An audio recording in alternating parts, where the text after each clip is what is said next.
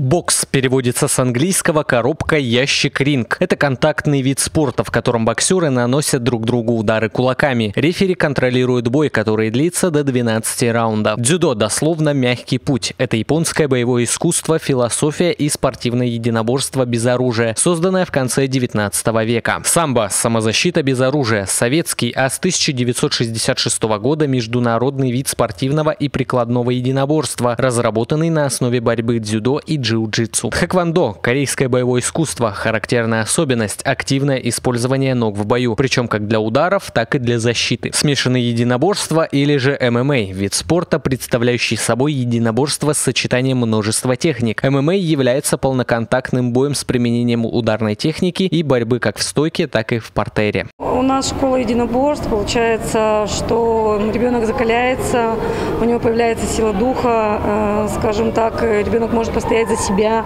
Ну и в дальнейшем э, для мальчиков особенно это очень полезно. Сами понимаете, какое сейчас э, тяжелое время. Это очень нужно для них. Если же ваш ребенок сидит дома без дела, отправьте его в секцию. Набор идет с 5 лет. В некоторые единоборства с 9. Есть платные и бесплатные группы. Занятия проходят утром, днем или же вечером в удобное время. Веб-сайт sambaber.ru. Телефон для справок сейчас на экране.